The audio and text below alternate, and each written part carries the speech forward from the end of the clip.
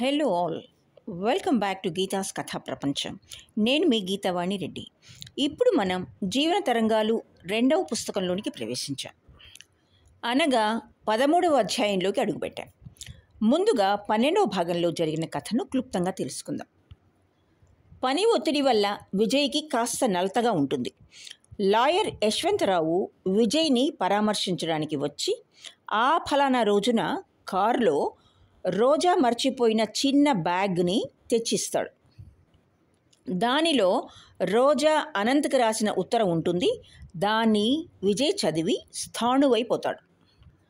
ఆ ఉత్తరం మూలంగా విజయ్కి రోజాకి అనంతని పెళ్ళి చేసుకోవటం నిజంగా ఇష్టం లేదన్న విషయం స్పష్టంగా అర్థమవుతుంది. పైగా ఆ ఉత్తరంలో రోజా వ్రాసుకున్న వివాహానికి సంబంధించిన ఆమె సుఖ స్వప్నం గురించి చదివి అతడు విభ్రాంతుడవుతాడు. ఆ స్వప్నం తన స్వప్నం కదా అనుకుంటాడు. విజయ్లో రోజా పట్ల పశ్చాత్తాపం మరింతగా అధికమవుతుంది. చందు గురించి వేణుగోపాలరావుకి సర్వం చెప్పేయాలనుకున్న రోజా సంకల్పం విజయ్ని అక్కడ పార్కులో చూడటంతోనే నెరవేరకుండా పోతుంది. నెక్లెస్ కోసం తగవలాడుతున్న లావణ్యకి రోజా వేణుగోపాలరావుకి నచ్చచెప్పి ఆ నెక్లెస్ తీసుకువచ్చి ఇస్తుంది. రోజా అడిగిన వెంటనే తండ్రి నెక్లెస్ ఇవ్వటంతో లావణ్యకి యథాప్రకారం మండిపోతుంది. చందుకి అమాయకంగా తనతో స్నేహం చేస్తున్న లావణ్యకి హాని చేయాలన్న ఊహ బాధ కలిగిస్తుంది. లావణ్యతో స్నేహం పెంచుకుని ఆమె సాయంతో వేణుగోపాలరావు గారింటిలో దోపిడీ చేయమని అతని పైవారి నుండి చందుకి ఉత్తర్వు వస్తుంది. కానీ లావణ్య మెడలో నెక్లెస్ చూసి దాని వెనుక కథ తెలుసుకున్నాక చందు సదుద్దేశం నామరూపాలు లేకుండా నాశనమైపోతుంది. విజయ్ తన అంతరంగానికి వ్యతిరేకంగా రోజా వైపు మొగ్గు చూపుతూ ఉంటాడు. రోజా పట్ల విజయ్ ఆకర్షణను గ్రహించిన లావణ్య ఈర్ష్యతో భగ్గుమంటుంది. రోజాని ఇంటి నుండి గెంటివేయటానికి తగిన సమయం కోసం వేచి చూస్తూ ఉంటుంది. ఇక పదమూడవ భాగంలో కథ ఈ విధంగా మొదలవుతుంది. దీపావళి పండుగ దగ్గరకు వస్తుంది వేణుగోపాలరావు గారు చెప్పలేనంత హడావుడి చేస్తున్నారు. రోజా ఆయన కోరిక మీద తనకు నచ్చిన స్వీట్స్ తయారు చేయడానికి సిద్ధమైంది. పండుగ నాలుగు రోజులుందనగా ఆయన రోజాని పిలిచి డబ్బిస్తూ రాధని వెంట పెట్టుకుని వెళ్ళి కావలసిన బట్టలు బొమ్మలు బాణాసంచ మొదలైన పండుగ సామాన్లు తెమ్మన్నారు. వారి ఇంట్లో దీపావళికి బొమ్మలు పెట్టే అలవాటు ఉందిట. రాధకి ఎంతో ఇష్టమైన ఈ సరదాని లావణ్య మొక్కుబడి తీర్చుకున్నట్లుగా చేస్తుందిట. ఈసారి ప్రతిసారిలా కాకుండా పండుగంతా తన ఇంట్లోనే ఉండాలని ఆయన ఆరాట పడుతున్నట్లుగా అనిపించింది రోజాకి. పాత బొమ్మలు ఎన్ని ఉన్నా ప్రతి సంవత్సరం పండుగ నాడు క్రొత్త బొమ్మలు కొని పెట్టడం ఆచారమట. రోజాకి ఈ షాపింగ్ అంటే చెప్పలేని సరదా. డబ్బు మాటిమాటికి లెక్క చూసుకోకుండా అయిపోతుందేమోనని భయపడకుండా కావలసినవన్నీ తీసుకోవటం ఎంతో హాయి. తన కుటుంబంలో కానీ తన చుట్టూ ఉన్న వారి ఇళ్ళలో కానీ రోజా చాలాసార్లు గమనించింది. ఒక పండక్కి కొంచెం సరదాగా గడిపితే ఆ ఇంట్లో మనుషులు తర్వాత ఎన్ని విధాలో పొదుపు చేసుకోవాలి. కాస్త ఎవరైనా బంధువులు వచ్చి నాలుగు రోజులు తిష్ట వేస్తే అప్పుడైనా అప్పు తీర్చడం కోసం ఆ కుటుంబం వారాల తరబడి చారు అన్నం తినాలి. ఏం జీవితాలవి? మధ్యతరగతి వాళ్ళ జీవితాల సరదాలన్నీ ఈ లేమికి పొదుపుకి బలి అయ్యి నిస్సారంగా అంతమైపోతున్నాయి. మనసులో అనుక్షణం డబ్బును గురించి బెంగపెట్టుకునే మనుషులు జీవితంలో సాహసించి ఏ సుఖం పొందగలరు? రోజాకి ఈ మధ్య తన జీవితం రెండు భాగాలుగా చీలిపోయినట్లుగా ఉంది. ఉదయం లేచింది తొమ్మిది గంటల వరకు. ఆ తర్వాత రాత్రి తొమ్మిది గంటల తర్వాత ఇంట్లో ఒక రకమైన జీవితం. ఈ పగలు తొమ్మిది గంటల నుంచి రాత్రి తొమ్మిది గంటల వరకు వేణుగోపాలరావు గారి ఇంట్లో గడిపేది మరో జీవితం. అదే సుందర స్వప్నం. అక్కడ డబ్బు బాధలకి చికాకులకి ఇబ్బందులకి చోట్లేదు నిజంగా ఆలోచిస్తే మనిషి మెళ్ళో ఈ దారిద్ర్యం అనే గుదిబండ లేకపోతే కాస్త కాకపోతే కాస్తైనా సుఖంగా ఆనందంగా బ్రతకవచ్చును అనిపిస్తోంది. వేణుగోపాలరావు గారు బజారు వెళ్ళి రమ్మనగానే రోజా లావణ్య గదిలోకొచ్చి లావణ్యను కూడా తన వెంట రమ్మని కోరింది. నేనెందుకు? నువ్వు రాధా వెళ్ళిరండి అంది లావణ్య. ఆ మాటల్లో నాన్నగారు నాకేం చెప్పలేదని శ్లేష స్పష్టంగా కనిపిస్తోంది. రోజా అది సరిగ్గా అర్థం చేసుకున్న దానిలా నాన్నగారు మన ముగ్గురిని వెళ్ళమన్నారు అంది. నేను నిజంగా వెళ్ళాలని ఆయన అనుకుంటే పిలిచి నాకే చెప్పేవారు. చెప్పకపోతే మానలే నన్ను రక్షించారు. నాకు రావటానికి వీల్లేదు. మా క్లబ్లో దీపావళి రాత్రి స్పెషల్ ప్రోగ్రాం ఉంది. ఈరోజు రిహార్సల్స్ చూసే పని నా నెత్తిన వేశారు మా వాళ్ళు. మీరు వెళ్ళండి నేను రాను. మీరు వెళ్ళండి నేను రాను. నిలువుటద్దం ముందు వయ్యారంగా నిలబడి బయట కొంగు ఒంటి పొర వచ్చేలా వేసుకుని ఎలా ఉందో చూసుకుంటూ అంది. రోజా లావణ్య మూడ్ని గుర్తించిన దానిలా ఎక్కువ మాట్లాడలేదు. ఇంకేది మాట్లాడినా విషయం తర్కంలోకి దిగుతుందనే భయంతో రాధను తీసుకుని యువతలకు వచ్చేసింది వాకిట్లో కారు సిద్ధంగా ఉంచానని డ్రైవర్ వచ్చి చెప్పి వెళ్ళాడు. త్వరగా వెళ్ళి త్వరగా తిరిగి వచ్చేయండమ్మా వేణుగోపాలరావు గారు హెచ్చరించారు. రోజా తల ఊపి రాధ చేయి పట్టుకుని గుమ్మం దాటబోతుండగా విజయ్ లోపలికి వస్తూ ఎదురయ్యాడు. విజయ్ని చూడగానే రాధ ముఖం వికసించింది. విజయ్ చప్పున రాధనెత్తుకున్నాడు. రోజా చెయ్యి పట్టుకొని ఉన్న రాధ చెయ్యి వదలకపోవటంతో రోజా చెయ్యి కూడా రాధతో పాటు పైకి వెళ్ళి విజయ్ని తాకింది. రోజా చప్పున చెయ్యి వదిలించుకుంది. ఒక్క క్షణం విజయ్ చూపులు రోజా కళ్ళతో కలిసి చప్పున విడిపోయినాయి. ఇంతలో వెనక నుంచి వేణుగోపాలరావు గారు వచ్చావా విజయ్? ఇంటికి ఫోన్ చేస్తే ఇంకా రాలేదని చెప్పాడు గోపాలం. రారా? నీతో కాస్త పనుంది. వీళ్ళు షాపింగ్కి వెళ్తున్నారు. నువ్వు కూడా వెంట వెళ్ళు అన్నారు. విజయ్ రాధని క్రిందకు దించి లోపలికొచ్చాడు. అతని చేతిలో ఏవో కాగితాలున్నాయి. గుమ్మం దాటిన రోజా టక్కున ఆగిపోయింది. కొంపదీసి విజయ్ తమతో బయలుదేరాడు కదా.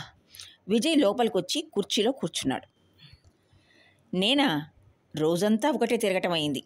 చాలా అలసటగా ఉంది అన్నాడు. గుమ్మం బయట నిలబడిన రోజా ఊహించిన ప్రమాదం తప్పిపోయినట్లుగా తేలిగ్గా ఊపిరి వదిలింది. కానీ ఆ సంతృప్తి ఎంతోసేపు నిలవలేదు.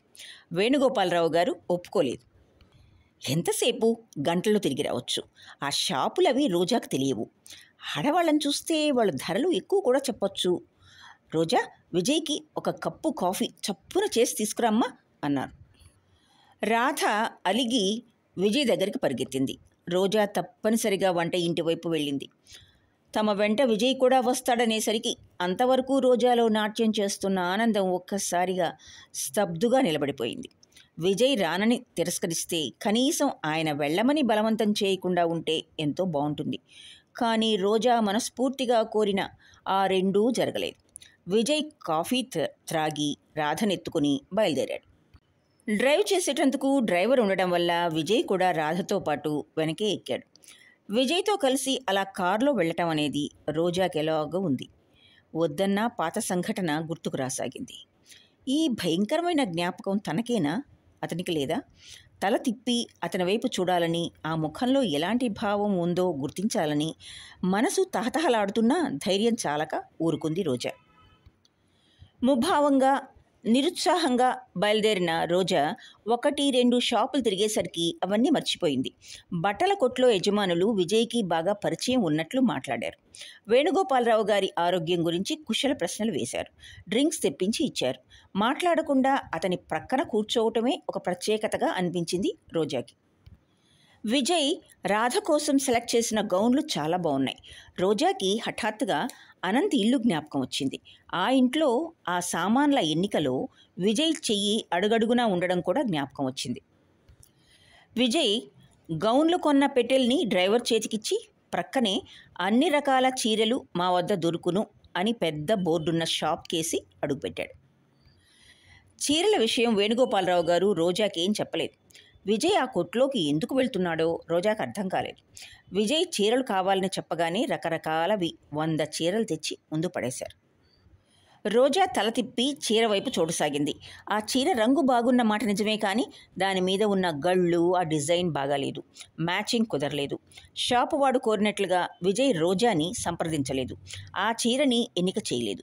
నచ్చనట్లు పక్కకు తోసేసి వేరే తీయించాడు. చిన్న చిన్న పూల జరీ బుటా ఉన్న నాలుగు చీరలు సెలెక్ట్ చేసి ప్యాక్ చేయించాడు. చీరల సంప్రదింపులో బహుశా అతను అడిగినా తను చెప్పి ఉండేది కాదు. కానీ అతను అసలు అడక్కపోవటం తృప్తిగా అనిపించలేదు. తనకు తెలియకుండానే కోపం లాంటిది వచ్చింది. వచ్చి ఎంతసేపు అయింది అతను ఒక్క చిన్న మాట కనీసం మర్యాదకైనా మాట్లాడలేదు. వేణుగోపాలరావు గారి బలవంతం మీద వచ్చినట్లు తెలుస్తూనే ఉంది. రోజాకి తను అసలు ఇలా రావటమే పెద్ద పొరపాటుగా అనిపించసాగింది. బట్టలు బొమ్మలు అయిపోయిన తర్వాత ముగ్గురు మందుగుండు సామాన్లు అమ్మే కొట్ల వైపు వచ్చారు. ఒకచోట కొన్ని డజన్ల దుకాణాలు వరుసగా ఉన్నాయి.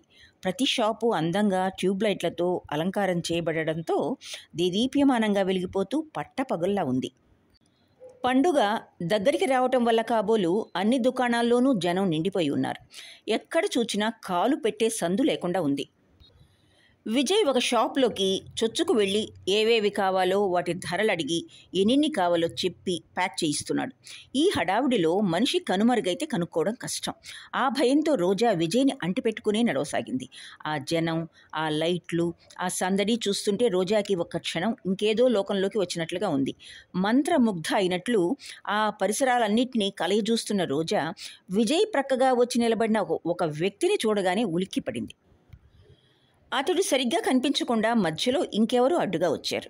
రోజా చప్పున రెండు అడుగులు ముందుకు వేసి ప్రక్కగా కనిపిస్తున్న ఆ వ్యక్తి వైపు దీక్షగా చూసింది.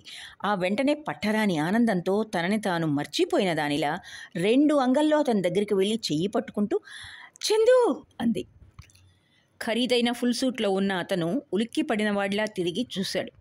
విష్ణు చక్రాలు ఎన్ని కావాలో చెప్తున్న విజయ్ కూడా ఆగిపోయి ఇటు చూశాడు. చందు! సంభ్రమాశ్చర్యాలతో చూస్తూ నువ్వు బొంబాయి నుంచి ఎప్పుడొచ్చావు? అదుర్దాగా అడిగేసింది.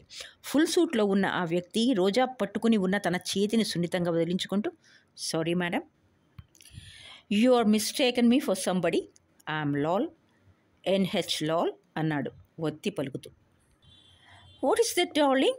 Skirt blouse వేసుకున్న ఒక ఆంగ్లో ఇండియన్ అమ్మాయి చప్పున దగ్గరకు వచ్చింది ఆ అమ్మాయి కళ్ళల్లో లీలగా భయం ఆదుర్ద కనిపించడం విజయ్ తీక్షణమైన దృష్టికి అందకపోలేదు. Nothing. She has mistaken me for somebody. అతను వచ్చిన పని అయిపోయినట్లుంది. ప్యాకెట్లు తీసుకుని షాప్ వాడిచ్చిన చిల్లర తీసుకుని రోజాకి విజయ్కి తల వంచి ఎంతో వినయంగా మర్యాదగా విష్ చేసి ఆ అమ్మాయితో వెళ్ళిపోయాడు. ఎవరతను? విజయ్ రోజాని అడిగాడు. కానీ రోజా ఆ మాట వినిపించుకోలేదు. చేష్టలు ఉడిగిపోయిన దానిలా అటే చూస్తూ నిలబడిపోయింది. చందు ఆ అమ్మాయి ఇద్దరూ వెళ్ళి బయట ఆపి ఉంచిన నల్లటి కారులో కూర్చున్నారు. చందుయే డ్రైవ్ చేస్తున్నాడు. కారు కదిలింది. రోజా చూస్తుండగానే కారు కదిలి వెళ్ళిపోయింది. చందు కనీసం తిరిగి కూడా చూడలేదు. రోజా ఇంకా కళ్ళు అప్పగించి అట్టే చూస్తూ నిలబడిపోయింది. ఇక వెళ్దామా? విజయ్ వచ్చి రోజా మోచేతి మీద అంటి అంటనట్టు తాకుతూ అన్నాడు.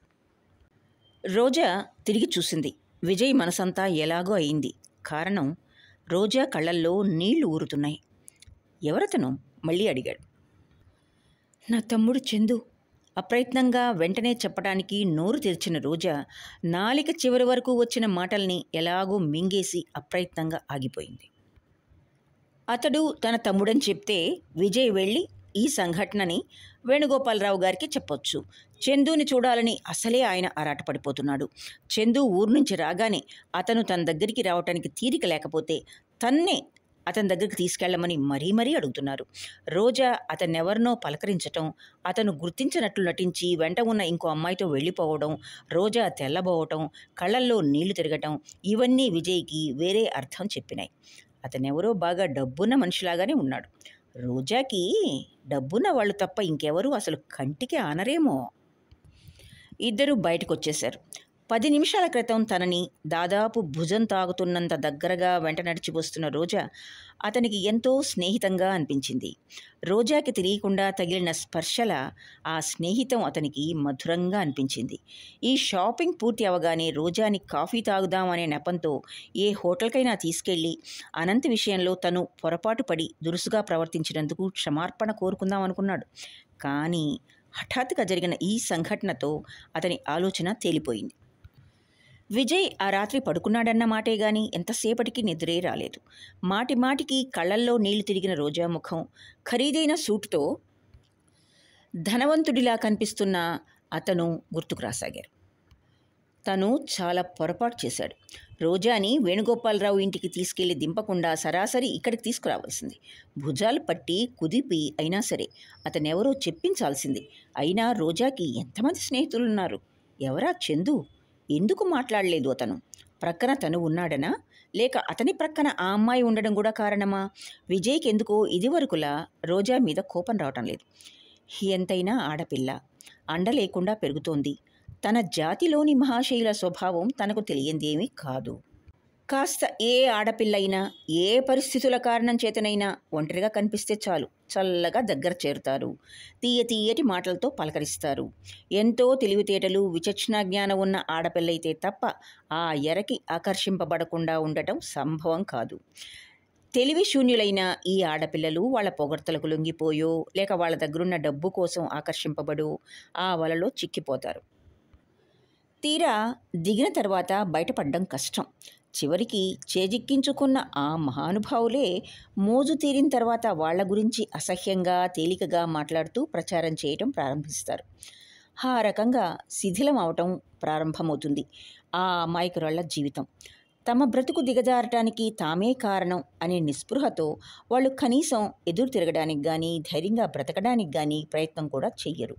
పతిత అనే ముద్ర వేయించుకొని సమాజంలో నుంచి వెలివేయబడి దూరంగా ఎక్కడో అజ్ఞాతంగా బ్రతుకుతూ ధూళిలో పడ్డ పువ్వుల్లా ఎండి నలిగి కాలగర్భంలో కలిసిపోతారు.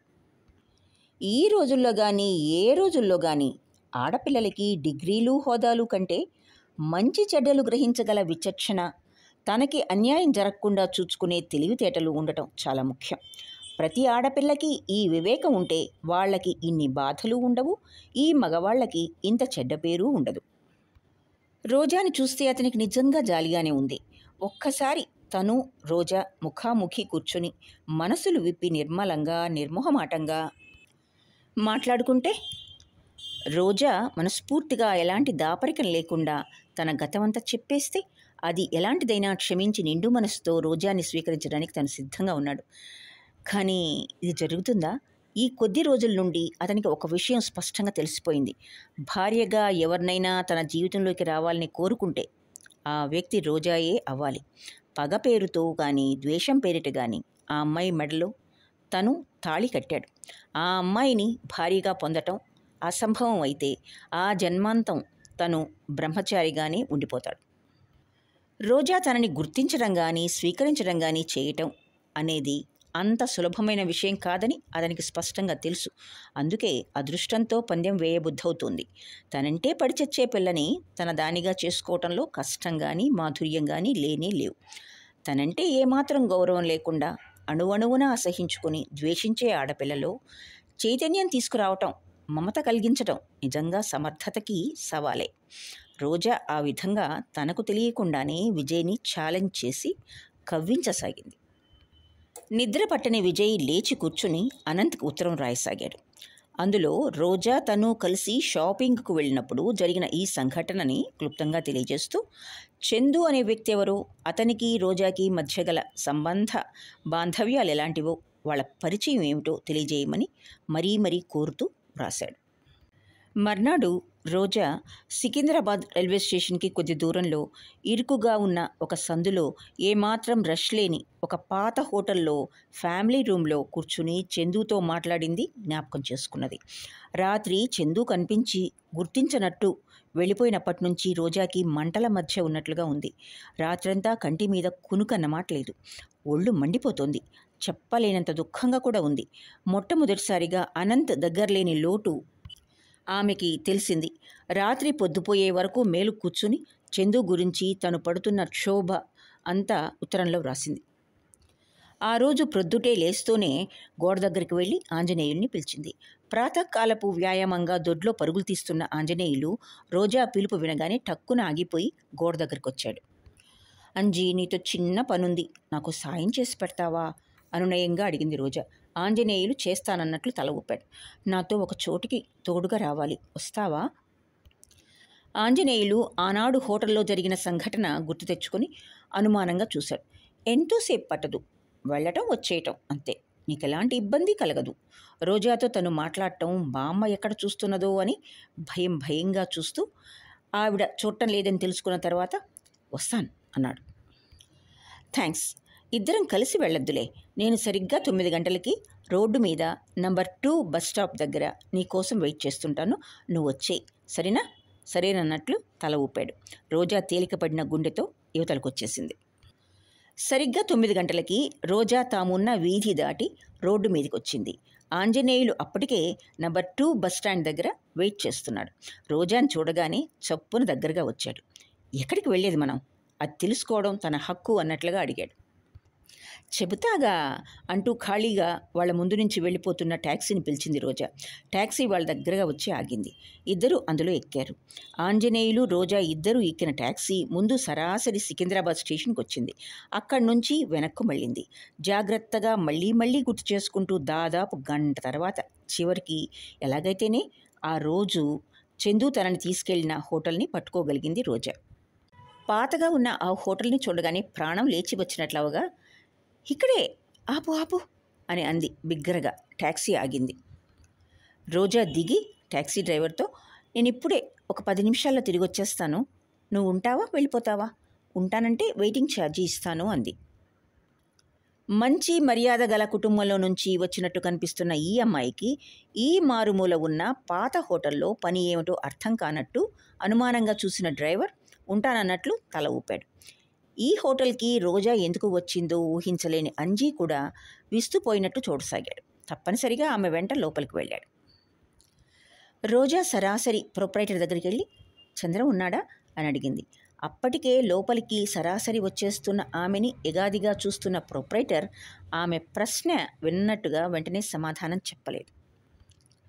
రోజా నచ్చ చెబుతున్నట్లుగా అంది. నేను అతని సిస్టర్ని మా అమ్మకి బొత్తిగా ఒంట్లో బాగాలేదు. వాడితో ఒక్క నిమిషం మాట్లాడి వెళ్ళిపోతాను. నన్ను మీరు అనుమానించొద్దు. ఇదివరకు చంద్రంతో ఒకసారి ఇక్కడికి వచ్చాను అంది. ప్రొప్రైటర్ ఏమనుకున్నాడో ఏమో సర్వర్ని పిలిచి మలయాళంలో ఏదో అడిగాడు. వాడు రోజాని చూచి తల ఊపుతూ జవాబు చెప్పాడు. ఆ రోజు చంద్రంతో వచ్చిన అమ్మాయేనని వాడు నిర్ధారణ చేస్తున్నట్లుగా అనిపించింది రోజాకి. సర్వర్ లోపలికి వెళ్ళాడు. ప్రొప్రైటర్ ఫ్యామిలీ రూమ్ చూపిస్తూ అక్కడికి వెళ్ళి కూర్చోండి. కబురు చేస్తాను. ఇప్పుడే వస్తాడు అన్నాడు. అంజీ నువ్వు ఇక్కడే ఈ కాఫీ సెక్షన్లో కూర్చొని కాఫీ తాగుతూ ఉండు. నేను ఇప్పుడే వస్తాను అంది రోజా. ముఖం మార్చుకున్న అంజీ అయిష్టంగా తల ఊపాడు. రోజా ఫ్యామిలీ రూమ్లోకి వచ్చి కూర్చుంది. ఆ గది పేరుకు మాత్రమేనని ఇక్కడ ఎవరికీ సర్వింగ్ చేయరని చూడగానే తెలుస్తోంది. ఒక బల్ల దాని చుట్టూ నాలుగు కుర్చీలు మాత్రం వేసి ఉన్నాయి. మిగతా కుర్చీలన్నీ బల్ల మీదికి ఎత్తిపెట్టి వాడకం లేనట్లుగా కనిపిస్తున్నాయి. రోజా అసహనంగా గుమ్మం వైపు చూస్తూ కూర్చుంది. బొంబాయి నుంచి రాగానే తనకి తప్పకుండా కబురు చేస్తాడని గంపెడంత ఆశతో ఎదురుచూస్తుంటే కనీసం వచ్చినట్టు తెలుపకపోగా చూసి కూడా చూడనట్టు వెళ్ళిపోతాడా. పది పదిహేను నిమిషాలు గడిచినాయి.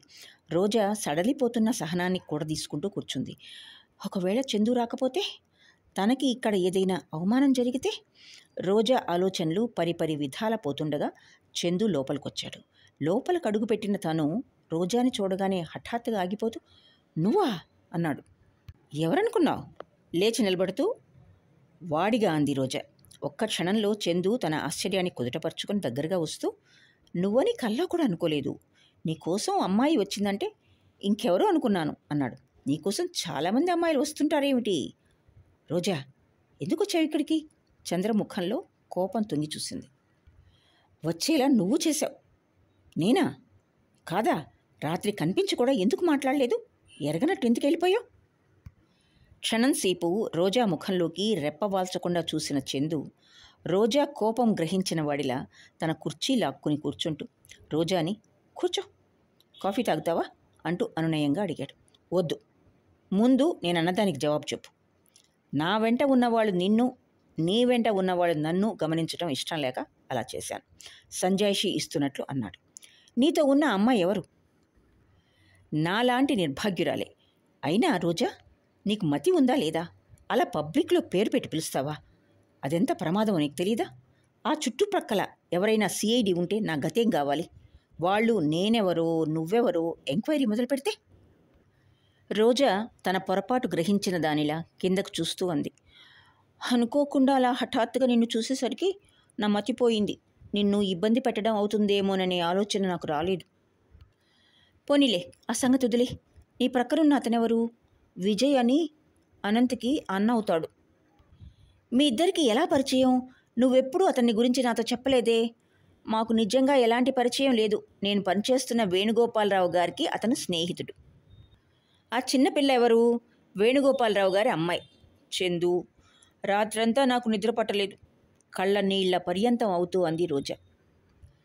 నేను నిద్రపోలేదు. సీరియస్గా అన్నాడు చందు. రోజా సమాధానం చెప్పలేదు. క్షణం ఆగి అడిగాడు. ఎందుకు అడగవే? ప్రత్యేకంగా అడగాల? ఆ మాత్రం తెలియదా నాకు? ఏం తెలుసు నీకు? విస్మయంగా చూశాడు. నీలాంటి జీవితం గడిపేవాడికి కంటి నిండా నిద్రలా వస్తుంది? చంద్రం నవ్వాడు. నీ మొహం. నా గురించిన బెంగ నాకేనాడో పోయింది. నా బాధల్లా నీకోసమే. నువ్వు గుర్తురాగానే నాకు నిద్ర పట్టదు. చందు.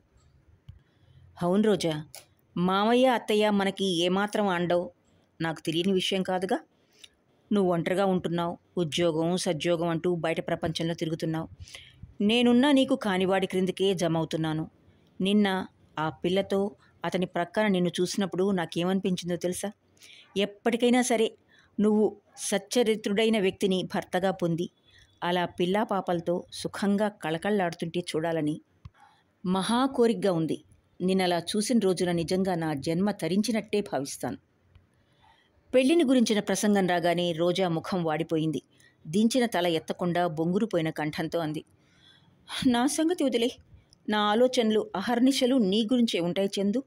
నువ్వు మారాలి. మామూలు మనిషివి కావాలి. మా అందరిలా నిర్భయంగా మళ్ళీ బ్రతకాలి నువ్వు. నాకింతకంటే ఇంకేం అవసరం లేదు. నేను ఇంకేం కోరను.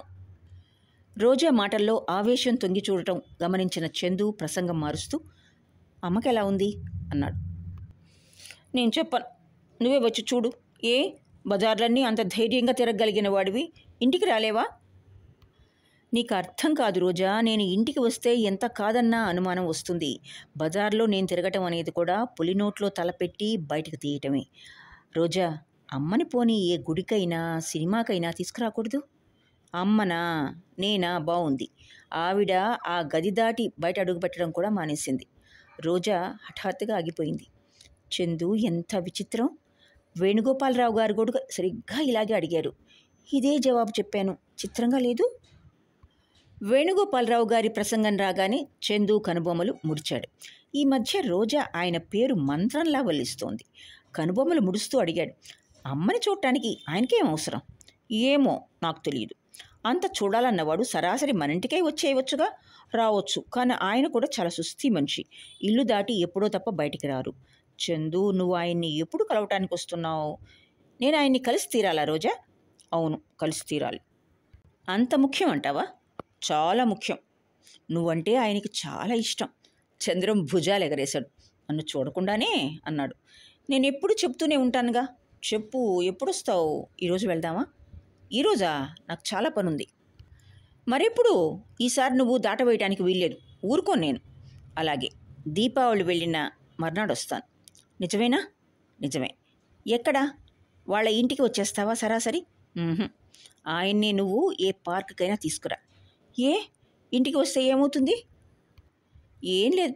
ఎక్కడైనా సరే అపరిచితమైన పరిసరాల్లో నాలుగు గోడల మధ్య ఉండాలంటే నాకు ఊపిరి ఆడినట్లుగా ఉంటుంది. ఆరు బయట అయితే హాయిగా స్వేచ్ఛగా అనిపిస్తుంది. చందు వాచి చూసుకున్నాడు. రోజా లేచి నిలబడింది. చంద్రం కూడా లేస్తూ అన్నాడు. రోజా ఇప్పుడు వస్తే వచ్చావు. ఇంకెప్పుడు ఇలా రాకు? తెలిసిందా? ఇది నీలాంటి ఆడపిల్లలు రావాల్సిన చోటు కాదు. నువ్వే తీసుకొచ్చావు ఒకసారి నిష్ఠూరంగా అంది. నీతో కొద్దిసేపు గడపాలనిపించి గత్యంతరం లేక ఆ పని చేశాను. దయయుంచి ఇంకెప్పుడు రావద్దు. అది నీకు నాకు ఇద్దరికి మంచిది కాదు. రోజాకి చందు భయం అర్థమైంది. దాన్ని ఆయుధంగా తీసుకుని బెదిరిస్తూ అంది. నువ్వు నాకు ఇచ్చిన ప్రకారం ఇచ్చిన వాగ్దానం ప్రకారం దీపావళి వెళ్ళిన మర్నాడు ఆయన్ని కలుసుకోకుంటే నేను ఇంకెప్పుడు ఈ ఛాయలకు కూడా రాను. రాకపోయావా చూడు. ఎప్పుడో ఒకసారి ఆయన్ని తీసుకుని ఇక్కడికే వచ్చేస్తాను. చంద్రం రోజా బెదిరింపుకి నవ్వేశాడు. ఇద్దరూ దీపావళి వెళ్ళిన మర్నాడు పార్కులో ఎన్ని గంటలకు కలుసుకోవాలో టైం నిర్ణయించుకున్నారు. మాట ఇచ్చినట్లేగా మర్చిపోవుగా వెళ్ళబోతూ అడిగింది. నీ మీద ఒట్టు. సరేనా? చంద్రం వాగ్దానం చేశాడు. దీపావళి పండుగ వచ్చింది. రోజాకి బుద్ధి తెలిసిన తర్వాత ఎప్పుడూ ఎరగనంత హుషారుగా ఆనందంగా అనిపించసాగింది. దానికి కారణం పండుగ వెళ్ళిన మర్నాడు చందు తప్పకుండా వేణుగోపాలరావు గారిని కలుస్తానని వాగ్దానం చేశాడు. అది ఒకటి. రెండోది సత్ప్రవర్తన శాంత హృదయం గల వేణుగోపాలరావు సాన్నిధ్యంలో రోజాకి మునుపెన్నడూ ఎరగనంత నిశ్చింతగా హాయిగా అనిపించసాగింది. ఆయన ప్రత్యేకంగా ఏ రోజున ఏ వేళలో స్పష్టంగా ఎలాంటి వాగ్దానం చేయకపోయినా నిజంగా ఏదైనా ఆపద కానీ అవసరం కానీ వస్తే ఆయన అండదండలు తనకి పూర్తిగా ఉంటాయి అనే ధైర్యం రోజాకి మానసికంగా కొండంత బలం ఇవ్వసాగింది. ఇదివరకులా జీవితం శూన్యంగా ఒంటరిగా భయంకరంగా అనిపించడం లేదు. వటవృక్షం లాంటి ఆయన నీడలో తలదాచుకున్న రోజాకి మునుపటిలా లోకం విసిరే విసుర్లు గాని తల్లి చీవాట్లు గాని అనుమానాలు గాని అంతగా వేధించి బాధ పెట్టడం లేదు. తండ్రి లాంటి వాళ్ళ రక్షణ కోసం తప్పిస్తున్న తనకి భగవంతుడు కనికరించి ఈయన్ని ప్రసాదించినట్లుగా అనిపించసాగింది. మాటల్లో ఆయన చూపే అభిమానం ప్రవర్తనలో సరళత్వం తన కుటుంబ విషయాల గురించి సానుభూతి చూపిస్తూ అహర్నిశలు తన ఆలోచనలు పంచుకోవాలని ఆయన చూపించే ఔదార్యం ఇవన్నీ కలిసి రోజాకి ఇదివరకులా భవిష్యత్తు అంటే బెంగ భయం ఉదాసీనత వీటిని రూపు లేకుండా అంతమయ్యేలా చేయసాగినాయి. ఆయన చూపించే ఈ మంచితనం తన ఒక్కదాని పట్లే కాదుగా. ఇంట్లో మిగతా అందరి నౌకర్ల మీద కూడా ఇంచుమించు ఇలాగే ఉంటుంది. రోజా వచ్చి ఇన్నాళ్ళయింది. ఆయన మాటల్లో గాని చేష్టల్లో గాని ఏనాడు తను యజమానిని అనే అహంకారం గాని అధికారం గాని మచ్చుకైనా కనిపించలేదు. అందరినీ బిడ్డల్లా లాలనగా ఆత్మీయంగా చూడటం ఆయన స్వభావం. అందులో తను ఆడపిల్ల కాబట్టి ఆయన కనుసన్నల్లో మెలుగుతూ ఆయనకి ఎలాంటి బాధ రానివ్వకుండా అన్ని పనులు చక్కబెట్టుకునే నేర్పు గలది కాబట్టి ఇంకొంచెం ఆదరణ ఆప్యాయత కనబరుస్తున్నారు. రోజాకి ఇది ఎంతో సహజంగా అనిపించసాగింది. దీపావళి రేపనగా ఆయన రోజాని పిలిచి పండక్కి తీపి ప్రత్యేకంగా ఏం చేస్తావమ్మా? అని అడిగారు మీకేది ఇష్టం అంటే అదే అది రోజా. మేనత్త పుణ్యమా? అని. ఆనాడు కష్టపెడితే పెట్టింది కానీ ఆ నైపుణ్యమే ఈనాడు ఇలా బ్రతుకు తెరువై ఉపయోగపడింది. రోజాకి వంట బాగా వచ్చు. నీకేది బాగా వస్తుందో చెప్పు ఆయన చిరునవ్వుతో అన్నారు. పూరి లడ్డు బొబ్బట్లు పులిహోర గారెలు ఆవడలు. బొబ్బట్లు మీ మామయ్యకి చాలా ఇష్టం కదూ? పరధ్యాసగా ఆలోచిస్తున్న ఆయన అన్నారు. అవును. కానీ మీకెలా తెలుసు? ఆశ్చర్యంగా అడిగింది రోజా. ఆయన క్షణంసేపు తడబడినట్లుగా రోజా వైపు చూశాడు. తర్వాత యథాలాపంగా అన్నట్లుగా అన్నారు. నువ్వే ఎప్పుడో చెప్పినట్లు గుర్తు. నేనా? రోజా ఎంత ఆలోచించినా తనకి ఆయనకి మధ్య అసలు ఇలాంటి ప్రసంగం ఎప్పుడు వచ్చిందో గుర్తురాలేదు. పండగ రోజు అంత క్రితం రోజు వేణుగోపాలరావు గారి కోరిక మీద పూరి లడ్డూ చేసింది. పండుగ నాడు ఆయనకెంతో ఇష్టం అని చెప్పిన బొబ్బట్లు పులిహోర గారెలు ఆవడ్లు కూడా చేసింది. ఎప్పుడు వంట ఇంటి ముఖం వైపు కూడా తొంగి చూడని ఆయన చిన్న పిల్లవాడిలా రోజా ఇదెలా? అదెలా? అంటూ రోజా వెనక తిరుగుతూ ఏవో కబుర్లు చెబుతూ రోజాని నవ్విస్తూ తను నవ్వుతూ ప్రవర్తిస్తుంటే చూసిన లావణ్యకి మతిపోయినట్టు అనిపించసాగింది. ఆ సమయంలో అలా స్వతంత్రంగా అడుగుతున్న రోజాని ఎవరైనా చూస్తే రోజాయే ఇంటి పిల్ల లావణ్య పరాయి మనిషి అనుకోగలరు. లావణ్యకి ఒంటి నిండా కారం రాసుకున్నట్లు చిటపటగా ఉంది. ఇన్నాళ్ళు రాధ ఒక్కతే తనకి పోటీ అనుకుంది. ఇప్పుడు రాధకు మించి రోజా తయారైంది. రాధ తప్ప ఇంకెవరూ తండ్రి మనసులో వాత్సల్యాభిమానాలు సంపాదించుకోలేరని నమ్మిన లావణ్యకి రోజాను చూస్తుంటే ఆ ఊహలన్నీ తారు మారవసాగినాయి. రోజాలో ఏదో ఉంది. తండ్రి విజయ్ అనంత్ రాధ నౌకర్లు అందరూ ఇంచుమించుగా ఒకే రకంగా రోజా అంటే ఇష్టపడుతున్నారు. తన చూపులతోనూ మాటలతోనూ వీళ్ళని లొంగ తీసుకోవటం రోజాకి బాగా అభ్యాసమైన విద్యలా ఉంది. అలాంటి వగలాడితనం ఆ నంగనాచి వేషాలు తనకి చేత కావు. కాబట్టి ఎవ్వరిని తను ఆకర్షించుకోలేకపోతోంది. ఎవ్వరికి తన పొడంటే గిట్టడం లేదు. లావణ్యకి రోజా ఇంట్లో అలా చనువుగా స్వతంత్రంగా తిరగటం చూడలేనట్టుగా కంటకప్రాయంగా ఊహించలేనంత నరకంగా అనిపించసాగింది. లావణ్య కళ్ళకి రోజా తన సామ్రాజ్యాన్ని కొల్లగొట్టి ఏమీ లేకుండా బికారిగా చేసిన బందిపోటు దొంగలా అనిపించడం మొదలుపెట్టింది. వంట పని చేస్తూ మధ్యలో ఏదో పని మీద హాల్లోకి వచ్చిన రోజా వేణుగోపాలరావు గారు ఎవరితోనో ఫోన్లో తన గురించి మాట్లాడటం వినగానే ఆగిపోయింది. తప్పకుండా రావాలి విజయ్ నీ కుంటి సాకులు నేనేం ఒప్పుకోను. రోజా చేసిన లడ్డు బొబ్బట్లు తినకపోతే నీ జన్మ వృధా. రోజా చెంపలు కెంపుల్లా అయినాయి. ఆయన ఎప్పుడూ అంతే. తను చేసిన ఏ చిన్న పనైనా ఆయనకి అపురూపంగా అద్భుతంగా కనిపిస్తుంది. దాన్ని వెయ్యి నోళ్ళతో ఇతరులకి చాటి చెప్పాలన్నట్లు తహతహలాడుతారు. ఇంకెవరితోనైనా చెప్పొచ్చు కానీ విజయ్తోనా? రోజాకి సిగ్గుతో ప్రాణం చచ్చిపోయినంతగా బాధగా అనిపిస్తుంది. విజయ్ ఏమనుకుంటాడు? వేణుగోపాలరావు గారి పసిపిల్లాడి మనస్తత్వానికి చాటుగా నవ్వుకుంటాడేమో. ఈ మధ్య తరచుగా విజయ్ ప్రవర్తనని రోజా గమనిస్తూనే ఉంది. తనకి అతనికి మధ్య ఒక భయంకరమైన సంఘటన జరిగిందనే సంగతి అతను పూర్తిగా మర్చిపోయినట్టే ప్రవర్తిస్తున్నాడు. రోజా ఎంత ప్రయత్నించినా మామూలుగా నిర్లక్ష్యంగా ఏమీ పట్టనట్టు ఉండటం సాధ్యం కావటం లేదు. అతను అటు వస్తున్నట్లు కనిపిస్తే తను ఇటు వెళ్ళిపోవాలని ఆంతర్యం ఆరాటపడుతోంది. సాధ్యమైనంత వరకు అతని కళ్ళబడకుండా జాగ్రత్త పడాలని మనసు ఎంతో కోరుకుంటోంది. అతన్ని చూస్తే ఏదో కోపం విషాదం నిస్సహాయతత్వం హృదయం నిండా సుళ్ళు తిరుగుతాయి. వేణుగోపాలరావు గారు ఫోన్ పెట్టేస్తూ అన్నారు. లాభం లేదు. విజయ్కి ఎక్కడో లంచ్ ఉందిట. రావటానికి వీల్లేదట. సాయంత్రం వీలైతే వస్తాడుట. రోజాకి ఒక్క క్షణం విజయ్ రాడన్న వార్త సంతోషంగా అనిపించినా వెంటనే ఆశాభంగంగా కూడా అనిపించింది. రోజాకి తన మీద తనకి విసుగు అనిపించింది. ఒక ప్రక్క అతని నీడ చూడటం కూడా ఇష్టపడినట్లుండే మనసు ఇంకో ప్రక్క అతనికి స్వయంగా భోజనం వడ్డించాలని కాఫీ చేసి ఇవ్వాలని అభిలషిస్తుంది. అతని సన్నిధిలో ఒక విధమైన ఆనందం అనుభవిస్తుంది. ఎంత సిగ్గుపడాల్సిన విషయం ఎంత అభిమానం లేని స్థలం అసహించుకోవాల్సిన మనిషిని గురించి ఎందుకు ఇలా అప్పుడప్పుడు మన్ననగా ఆలోచించటం? ఇది బలహీనత కాకపోతే ఇంకేమిటి? భోజనానికి కూర్చునే ముందు వేణుగోపాలరావు గారు వండినవన్నీ తెమ్మని స్టీల్ క్యారియర్ ఇవ్వమని దాని నిండా స్వయంగా తనే సర్దారు. క్యారియర్ తీసుకుని డ్రైవర్ని పిలిచి ఇది తీసుకెళ్ళి అమ్మాయి గారి ఇంటి దగ్గర ఇచ్చిరా అన్నారు. అంతవరకు ఇది ఇంకెవరికో అని అనుకుంటున్న రోజా తెల్లబోయింది వారించబోయింది. వేణుగోపాలరావు గారే చిన్న చేతి సంజ్ఞతో రోజాని ఊరుకోమని డ్రైవర్ని వెళ్ళిరమ్మన్నారు. అప్పుడే బయట నుంచి వస్తున్న లావణ్య వరండా మెట్ల మీద క్యారియర్తో ఎదురుపడ్డ డ్రైవర్ని ఎవరికిది? అని అడిగింది. రోజమ్మ గారింట్లో ఇచ్చిరమ్మన్నారు. ఎవరు? అయ్యగారే ఇచ్చారు స్వయంగా అని వెళ్ళిపోయాడు డ్రైవర్. ఎర్రగా చూసి లోపలికొచ్చింది లావణ్య.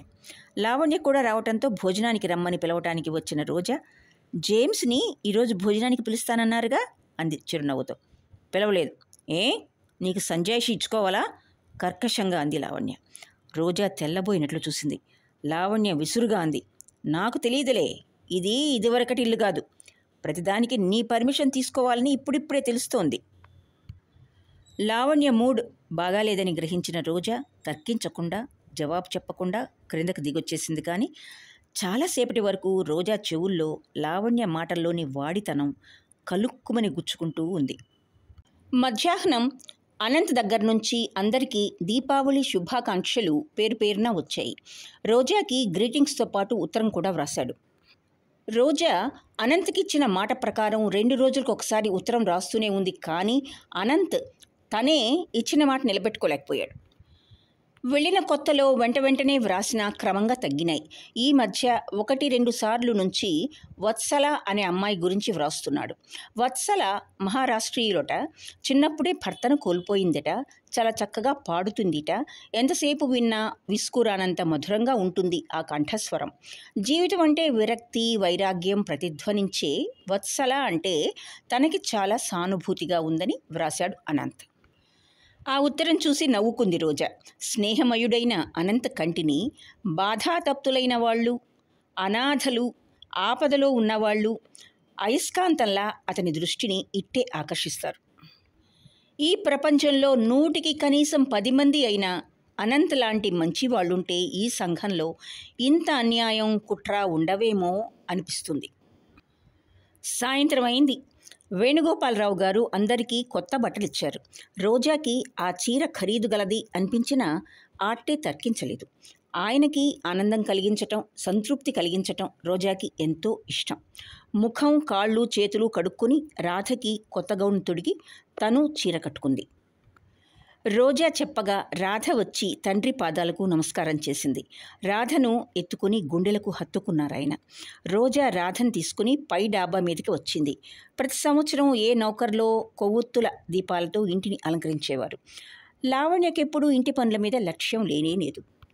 వేణుగోపాలరావు గారికి నూనె వేసిన ప్రమిదలంటేనే చాలా ఇష్టం. మాటల్లో ఎక్కడో ఆయన వ్యక్తపరిచిన ఈ అభిష్టాన్ని విన్న రోజా నౌకర్ చేత ఉదయమే ప్రమిదలు తెప్పించి వాటన్నింటిలో నూనె పోసి ఒత్తులు వేసింది.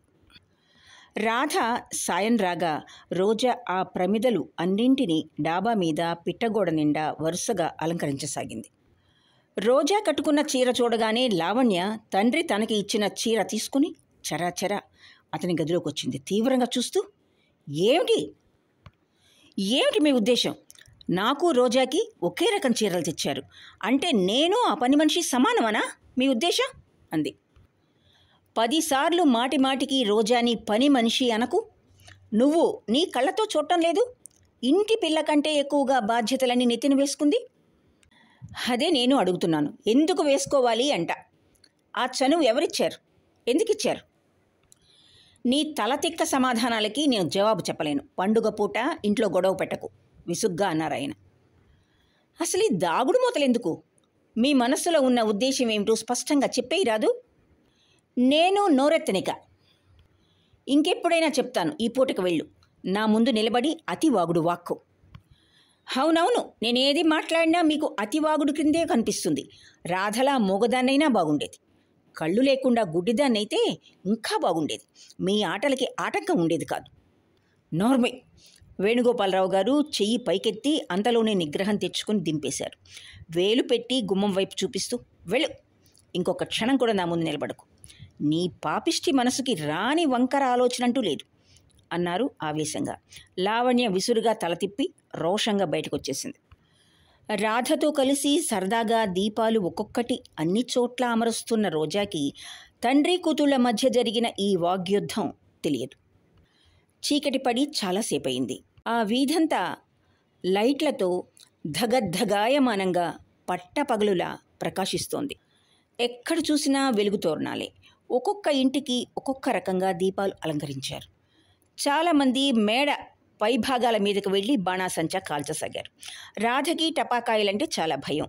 ఆ మోత వినిపించేటప్పుడల్లా తండ్రినో రోజానో ఖర్చుకుపోయేది రోజా మెల్లగా రాధ చేత కాకర పువ్వొత్తులు కాల్పించడానికి బుజ్జగిస్తూ లాలిస్తూ భయం లేదని చెప్తూ కాల్పించసాగింది. లావణ్య కూడా పైకొచ్చింది. కాస్త కోలగా నాజూక్గా ఉన్న ముఖంతో కొత్త చీరలో సుందరంగా బొమ్మలా ఉన్న రోజా వైపు వేణుగోపాలరావు గారు తదేకంగా చూడసాగారు. ఈ రోజు ఎందువల్లనో రోజాని ఎంత చూసినా ఆయనకి తనివి తీరటం లేదు. ఇంకా ఇంకా చూడాలని అనిపిస్తోంది. లావణ్యను ఎంతో జాగ్రత్తగా కట్టుదిట్టంగా క్రమశిక్షణలో పెంచి పెద్ద చేశారు. అయినా లావణ్య స్వభావంలో కానీ ప్రవర్తనలో కానీ కుదురనేది కనిపించనే కనిపించదు. లావణ్య బుద్ధి రెక్కల గుర్రంలా నిలకడ అనేది లేకుండా అటూ ఇటూ పరిగెత్తుతూనే ఉంటుంది. ఏ శిక్షణ ఏ జాగ్రత్త లేకుండా పెరిగిన రోజాలో ఇంత క్రమశిక్షణ మంచి చెడుని గ్రహించగల విచక్షణ జ్ఞానం ఎలా వచ్చాయో? అందుకే అంటారేమో పిల్లల్ని కనగలం కానీ వాళ్ళ రాతల్ని బుద్ధుల్ని కనలేమని.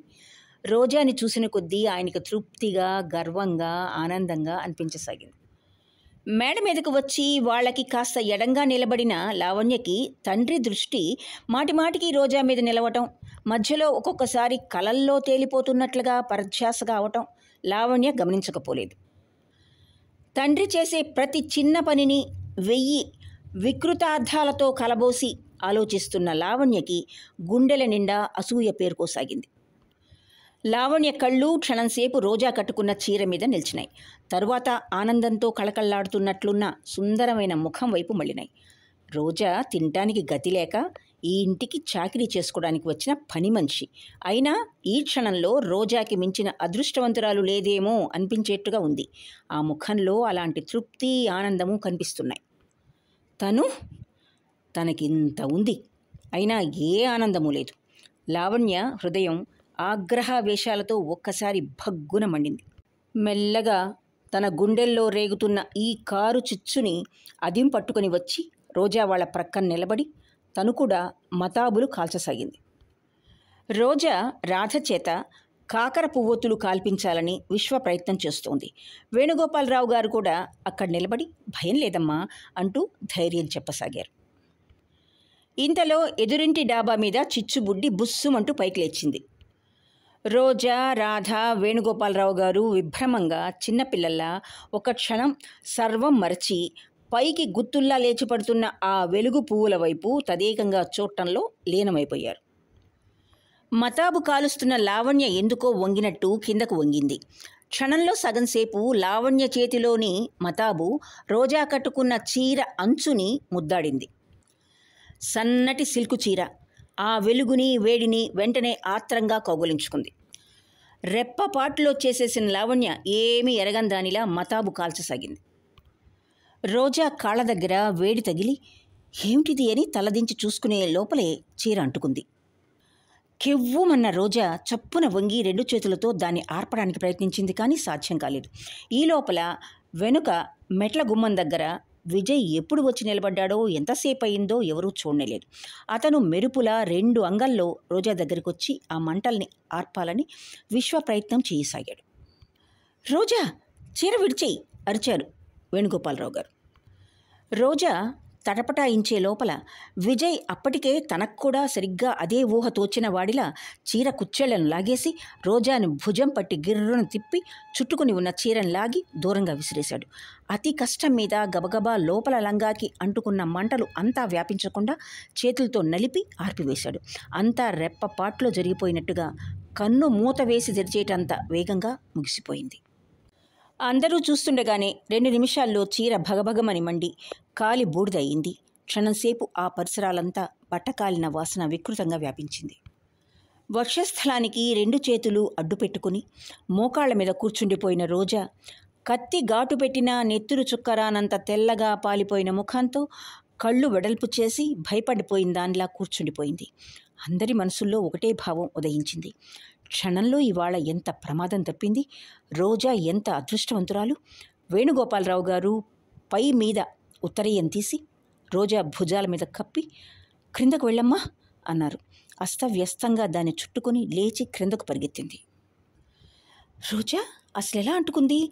విచిత్రంగా క్రిందంతా పరిశీలిస్తూ అన్నారు వేణుగోపాలరావు గారు. మతాపు వెలిగించుకోవడానికి కింద పెట్టి ఉన్న ప్రమిద ఆరిపోయి ఉంది. అయినా అది రోజా నిలబడిన చోటికి కాస్త ఎడంగానే ఉంది. కాలిన చేతులు చూసుకుంటూ నోటితో వాటిని ఊది మంటని దూరం చేయాలని ప్రయత్నిస్తున్న విజయ్ లావణ్య వైపు చూశాడు. అతని చూపులు కఠినంగా ఆగ్రహంగా ఉన్నాయి. నోరు తెరిచి ఏదో చెప్పబోయాడు అతను కానీ లావణ్య కళ్ళల్లో ఏదో అర్థింపు దీనత్వం భయం. ఇవి మూడు కలిసి విజయ్ నోటి నుంచి రాబోతున్న మాటలు మింగేసేలా చేశాయి. జరిగిందేదో జరిగింది. బయటపడి ఏం ప్రయోజనం? అనిపించింది అతనికి. దాదాపు అరగంట తర్వాత అందరూ కిందకొచ్చేశారు. లావణ్య తలనొప్పిగా ఉందనే నెప్పంతో వెళ్ళి గది తలుపులు మూసుకుంది. వేణుగోపాలరావు గారు రోజాని అడిగి వ్యాజిలిన్ తీసి విజయ్ వద్దంటున్నా వినకుండా తనే స్వయంగా అతని చేతులకు రాయసాగాడు. రోజాకి ఎలాగో ఉంది. ఈ సాయంత్రం నుంచి తను ఎందుకంత సంతోషంగా తిరిగింది? అన్నింటికంటే వేణుగోపాలరావు గారు ఎంతో ఆప్యాయంగా ఇచ్చిన ఆ కొత్త చీర అలా హఠాత్తుగా కాలి భస్మమైపోయింది. రోజా కిందుకో ఇది మంచి నిదర్శనంగా కనిపించలేదు. మనసులో ఏదో అపశకునంగా జరగకూడదేదో జరిగినట్టుగా వ్యధగా అనిపించసాగింది.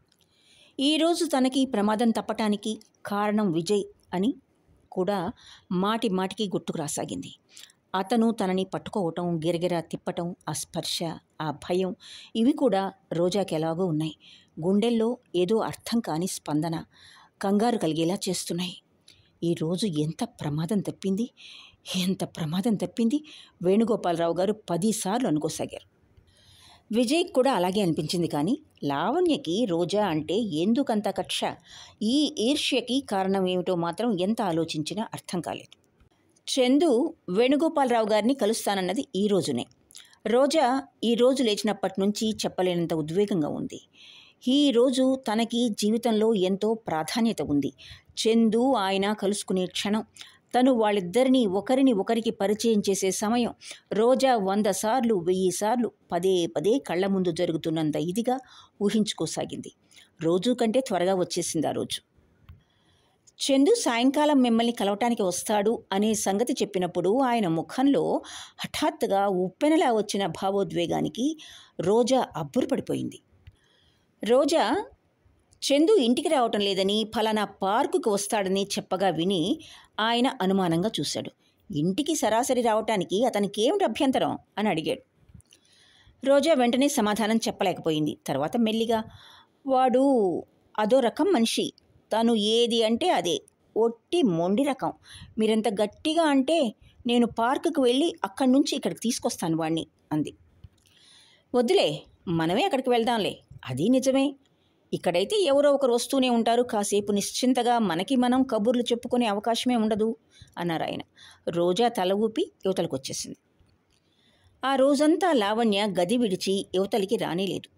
భోజనానికి రమ్మని పిలవటానికి వెళ్ళిన రోజా మంచం మీద లంకణాలు చేసిన మనిషిలా వాడిన ముఖంతో పడుకుని ఉన్న లావణ్యం చూసి తెల్లబోయింది. అదేమిటి? ఒంట్లో బాగాలేదా మీకు? అంది. అదుర్దాగా దగ్గరగా వెళ్తూ. లావణ్య ముఖం తిప్పుకుంది. రోజా వైపు చూడటం ఇష్టం లేని దానిలా గోడవైపు చూస్తూ బాగానే ఉంది. రాత్రంతా నిద్రపట్టలేదు నా నాకు ఆకలి లేదు. భోజనం చెయ్యను అంది. రోజా బలవంతం చేసి లావణ్య చేత అన్నం తినిపించింది. రోజా చూపుతున్న నిష్కల్మషమైన స్నేహానికి లావణ్య మనసు అపరాధం చేశాననే భావంతో అందుమూలంగా కలిగిన సిగ్గుతో కుంచింపసాగింది. ఆఫ్టర్ ఆల్ రోజా కూడా తనలాంటిదే. తనకి ఒక రకమైన బాధ అయితే రోజాకి ఇంకో రకమైన బాధలు. తండ్రికి బుద్ధి ఉండాలి కానీ పాపం రోజా ఏం చేస్తుంది? ఈ క్షణం నుంచి రోజాతో ఎప్పటిలా స్నేహంగా చనువుగా ఆత్మీయంగా ఉండటానికి లావణ్య నిశ్చయించుకుంది. సాయంత్రం అయింది. రోజా వేణుగోపాలరావు గారు రాధను తీసుకుని పార్కుకు వెళ్ళటానికి బయలుదేరారు. లావణ్య గబగబా తను కూడా తయారై కిందికి వస్తూ రోజా నాకు కూడా ఏమి తోచడం లేదు. నేను వస్తాను మీతో అంది. మీరా మాతోన చిక్కుల్లో పడ్డదానిలా చూసింది రోజా. రోజా కళ్ళల్లో భావం ఇట్టే చదివేసిన లావణ్య ఏ రాకూడదా? అని అడిగింది. అబ్బెబ్బే అదేం కాదు కానీ సందేహంగా ఆగిపోయింది. ఉండండి నాన్నగారిని అడుగుతాను అంటూ ఆయన గదిలోకి వెళ్ళింది. మేము ఎక్కువసేపు ఉండం వెంటనే వచ్చేస్తామని చెప్పు గదిలో రోజా చెప్పిన మాట విని జవాబుగా ఆయన అనటం బయట నిలబడిన లావణ్యకి స్పష్టంగా వినిపించింది. రోజా వచ్చి ఆయన అన్న మాటలు చెప్పింది. ఉదయం నుంచి లావణ్య కావాలని తెచ్చుకున్న శాంతం స్నేహం ఒక్కసారిగా గాలికి ఎగిరిపోయినాయి. రోజాను చూడగానే రెట్టింపు ద్వేషంగా అనిపించింది. ఇష్టం లేదని చెప్పేస్తే సరిపోతుందిగా అంది. అప్పటికే వేణుగోపాలరావు గారు చెప్పులేసుకుని బయటకు వచ్చేశారు. సరే ఇష్టమే లేదనుకో. సరేనా? వెళ్ళు. ప్రతి చిన్నదాన్ని తర్కంలోకి దింపి అసహ్యంగా మాట్లాడటం ఈ మధ్య నీకు చెడ్డ అలవాటైపోయింది అన్నారు. లావణ్య స్థాణువులో నిలబడిపోయింది. రోజా వేణుగోపాలరావు గారు రాధ పార్కుకు వెళ్ళిపోయారు. తండ్రి మాటల్లో విసుగుదలని తన పట్ల తిరస్కారంగా భావించుకున్న లావణ్య మనసు అవమానంతో కుతకుతలాడింది. జేవురించిన మొహంతో ఎర్రబడిన కళ్ళతో ద్వేషాగ్నిలో నిలువునా మండిపోతున్నట్టు నిలబడిపోయిన లావణ్యకి తను అలా ఎంతసేపు నిలబడిందో ఎంత టైం గడిచిందో ధ్యాసే లేకపోయింది. ఇంతలో హలో అని వినిపించింది. లావణ్య తిరిగి చూసింది. విజయ్ లోపలికొచ్చాడు. అలా నిలబడ్డావే ఒకదానివి యథాలాపంగా అడిగిన విజయ్ సమాధానం ఆశించకుండానే నాన్నగారేరి అని అడిగాడు. లేరు. లేరా? ఎక్కడికి వెళ్ళారు? పార్కుకి రోజా ఆయన కలిసి వెళ్ళారు. జాగ్రత్తగా అతడి ముఖం పరిశీలిస్తూ అంది.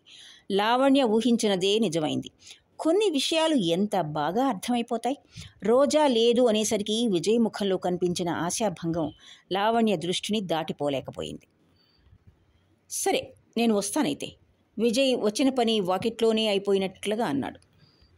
ఏ? నీకు కూడా నేను పనికిరాకుండా పోయానా? లావణ్య వ్యంగ్యంగా వాడిగా అంది. వెళ్ళబోతున్న విజయ్ చటుక్కున వెనక్కి తిరిగాడు. ఒక్క క్షణం లావణ్య వైపు చూసి అదేమిటి? అలా ఉన్నావే? ఏమైంది? అన్నాడు. విజయ్ కళ్ళలో కనిపించిన స్నేహానికి అతని పలకరింపులో ప్రతిధ్వనించిన ఆత్మీయతకి కరిగినట్లయిన లావణ్య ఒక్కసారిగా అతని దగ్గరికి వెళ్ళి అతని మెడ చుట్టూ చేతులు వేసి అతని హృదయం మీద తలదాచుకుని బావురుమంది అనుకోని ఈ సంఘటనకి విజయ్ క్షణంసేపు అప్రతిభుడైనట్లు నిలబడిపోయాడు. ఉండు ఏమిటిది? ఏమైంది? లావణ్యని తన నుంచి విడదీయటానికి ప్రయత్నిస్తూ బుజ్జగిస్తున్నట్లుగా అడిగాడు. లావణ్య అతన్ని వదల్లేదు. అతని భుజం మీద తల అనించుకుని ఏడుస్తూనే మధ్య మధ్యలో రోజాకి కలిగిన ద్రోహ చింతన గురించి చెప్పేసింది. విజయ్ ముఖం ఎర్రబడింది. చీచి ఏం మాట్లాడుతున్నావు నీకు తెలుసా? నాన్నగారినేనా? అలా అనేది అన్నాడు మందలింపుగా. నీకు తెలియదు విజయ్ నాన్నగారైతే మాత్రం మనిషి కాడా? చూస్తుండు. ఒక రోజున నీ కళ్ళతో నువ్వే చూస్తావు. ఇలాంటి విషయాలు మీ మగాళ్ళ కంటే మా ఆడవాళ్ళకే త్వరగా తెలుస్తాయి అంది. రోజా మరీ అంత నైత్యానికి పాల్పడే మనిషి అని నేను అనుకోను. అదే వచ్చిన చిక్కు. మంచితనం నటిస్తూ మీ అందరి కళ్ళకి కారం కొట్టడానికి చూస్తోంది. చాలా తెలివిగలది రోజా. నువ్వే ఆలోచించు నేనే కాదు. నా స్థితిలో ఉన్న ఎవరైనా అలాంటి వ్యక్తిని అసహించుకుంటారు. విజయ్ లావణ్య ఎదురెదురుగా ఉన్న సోఫాలో కూర్చుని చాలాసేపు ఈ విషయమే మాట్లాడుకున్నారు. లావణ్య ఎంత గట్టిగా చెప్పినా విజయ్కి నమ్మబుద్ధి కావటం లేదు. రాత్రి నుంచి రోజా అతని ఆలోచనలలో నిండా అల్లుకుపోయింది. ఈరోజు ఉదయం లేచినప్పటి నుంచి రోజాని చూడటానికి అతని మనసు తహతహలాడుతోంది. ప్రొద్దుటి నుంచి వీలు కాలేదు. కోర్టు నుంచి రాగానే క్లబ్లో ముఖ్యమైన మీటింగ్ ఉన్నా వదిలేసి సరాసరి ఇక్కడికి వచ్చేశాడు. వేణుగోపాలరావు గారికి రోజాకి మధ్య ఉన్న సంబంధం గురించి లావణ్య చెప్పిన ఈ సంగతి క్షణంసేపు అతన్ని మూగవాడిలా చేసేసింది. వివేకం కాదు కాదు అని- అని హెచ్చరిస్తున్నా అతని మనసు ఏదో వెరపుతో వెనక్కు లాగసాగింది. రాత్రి సంఘటనతో రోజా మీద అన్ని సంశయాలు తెంచుకొని ఒక్కసారిగా ఉవ్వెత్తున లేచిపడుతున్న అభిమానం అభిమానం పొంగు మీద లావణ్య చెప్పిన మాటలు చన్నీళ్ళు కుమ్మరించినట్లయింది. ఇక్కడితో ప్రముఖ రచయిత్రి ఎద్దనపూడి సులోచనారాణి గారి జీవన తరంగాలు పదమూడవ భాగం పూర్తి అయింది. ఈ భాగంలోని కథ మరియు నా నెరేషన్ మీకు నచ్చినట్లయితే లైక్ చేయండి షేర్ చేయండి. మీరు ఇప్పటి వరకు సబ్స్క్రైబ్ చేసి ఉండకపోతే ఇప్పుడు తప్పకుండా సబ్స్క్రైబ్ చేసుకుని నాకు ప్రోత్సాహాన్ని అందించండి. ఆలకించినందుకు ధన్యవాదాలు.